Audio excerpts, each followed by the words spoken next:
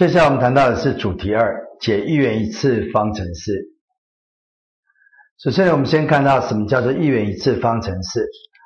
第一个含有等号的，第一个是等式，含有等号的式子呢，我们就称它叫做等式。例如二加三等于五啦，二 x 加三等于七啦，x 加 y 等于三，它都含有等号。只要含有等号的这一种式子呢，我们就称它叫做等式。那什么叫做方程式呢？含有未知数的等式，含有未知数的等式呢，我们就称它叫做方程式。例如像这个二加三等于五，它不是方程式，为什么？因为它没有未知数，就是没有文字 x、y、z。第二个 x 加 y 减七，它含有文字，但是呢，它不是方程式，因为它没有等号，所以它只是一个式子，这是一个普通的一个式子而已。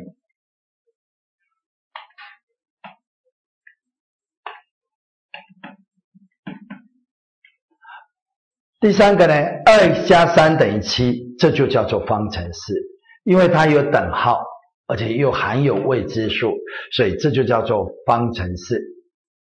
什么叫方程式？含有未知数的等式，我们就称它叫做方程式。一元一次方程式，一个经过化简以后是一元的。什么叫做一元呢？所谓一元就是有一种文字的，而且是一次的。一次就是文字右上角的次方呢是一次的这一种方程式，我们就称它叫做一元一次方程式。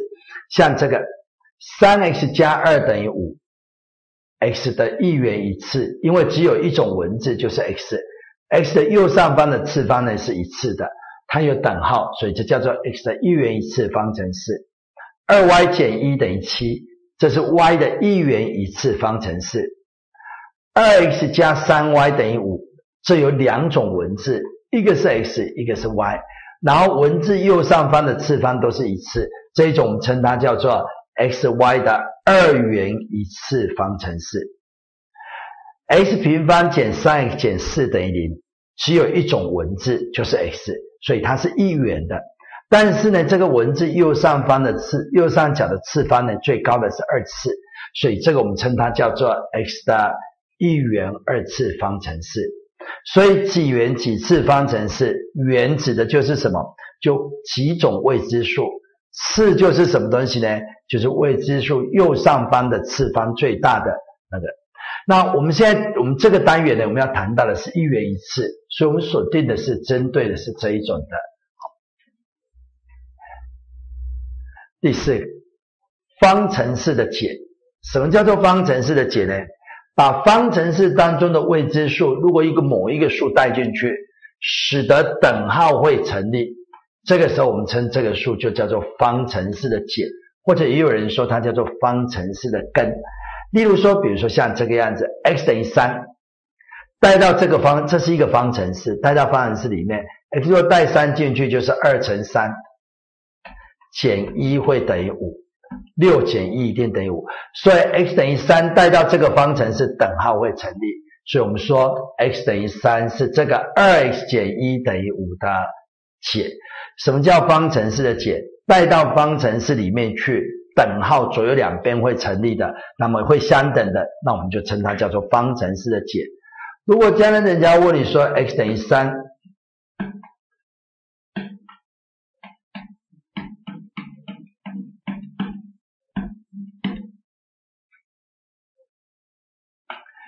请问你 x 等于三呢？是不是负三 x 加一等于五的解？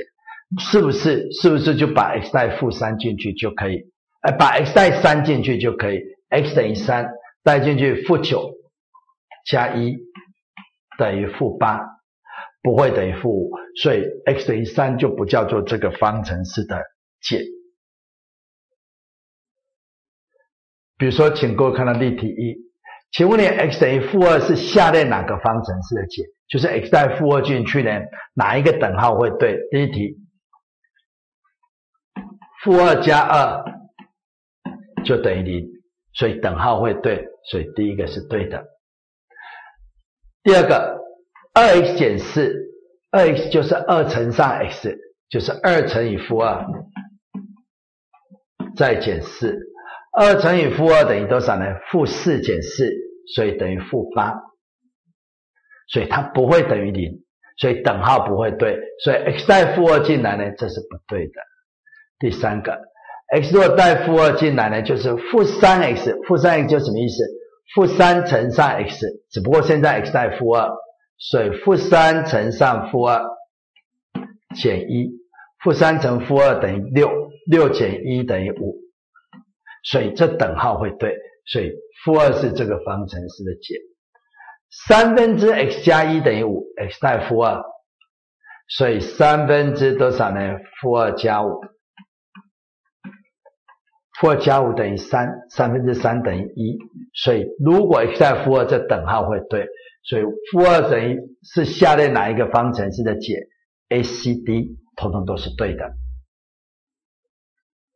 第二题，下列何者为一元一次方程式？负三 x 加八，这不叫方程式，因为它没有等号。这个呢，我们称它叫做一元一次式。但它不叫方程式。第二个，它有等号，又有未知数，又只有一个 x，所以这是 x 的一元一次方程式。第三个，二 x 减三 y 减八，这不叫方程式，这只是一个式子，它有两个未知数，但是呢都是一次，所以这一种呢，我们称它叫做。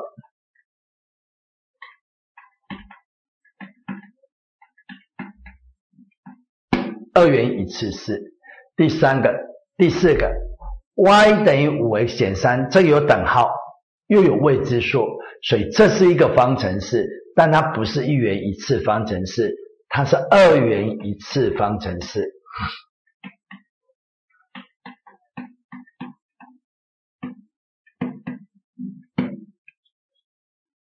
一 x 平方减四 x 减十二等于零，它有一它有等号。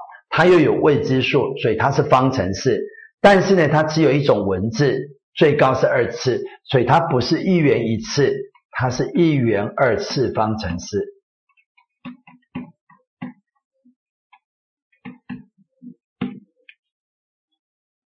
F 这个有等号、有未知数，都有 x，所以呢，它是是一元一次方程式，而且呢，x 的次方只有一次。这个呢，x 平方减九，它不是方程式，因为它没有等号。这个呢，我们称它叫做一元二次式，一种文字最高的二次，这叫做一元二次。这个呢，这个有有有等号，也有文字，左边有三 x，右边也有三 x，我们可以把它减掉，所以其实这个经过化简以后，就是等于多少？五 y 等于十，一种文字，而且又是一个方程式，这是一个一元一次的方程式。所以，如果问你下列何者为一元一次方程式，答案是 B B F H。A 呢叫做一元一次式，那个 C 呢就叫做二元一次式，因为它不是方程式，它只是简单的一个式子而已。那 D 呢叫做二元一次方程式，它有等号，它叫方，但它是两种文字。一呢叫做一元二次方程式啊。第二个用等量公理呢及其应用。第一个等量公理，什么叫等量公理呢？等量公理就是在一个等式的左右两边，如果我们同加、同减、同乘一个数，就它的结果呢是不变的。那如果去同除的话，要同除一个不为零的数。它结果是不变，我们称这个就叫做等量公理。所以等量公理分成四个，有四种。第一个叫做等量加法，第二个叫做等量减法，第三个叫做等量乘法，第四个叫第四个叫做等量除法。如果 a 等于 b，那 a 加 c 一定会等于 b 加 c，这叫做等量加法。如果 a 等于 b，那 a 减掉 c 一定会等于 b 减 c，这叫做等量减法。如果 a 等于 b，那 a 乘以 c 会等于 b 乘以 c，这叫做等量乘法。如果 a 等于 b，但是要注意到 c 不可以等于零，因为除以零就没有意义。所以如果 c 不等于零的话，那 a 除以 c 一定会等于 b 除以 c，这叫做等量除法公理。我们讲利用等量，为什么要强调等量公理呢？我们要利用等量公理啊，来解一元一次方程式。什么叫做解一元一次方程式？首先我们要先了解什么叫做解一元一次方程式。